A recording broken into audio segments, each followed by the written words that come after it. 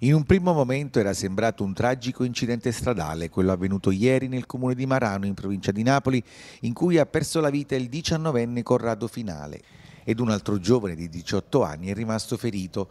Stanno emergendo in queste ore nuovi dettagli dall'impatto che è avvenuto in Via del Mare tra un utilitario e uno scooter, che potrebbe non essere stata una tragica fatalità.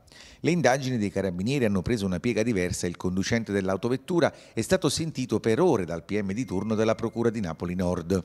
Nella locale caserma dell'Arma, il conducente della vettura, un giovane di 20 anni allontanatosi dopo lo scontro, si è presentato nella tarda mattinata di ieri dai carabinieri accompagnato dal suo legale.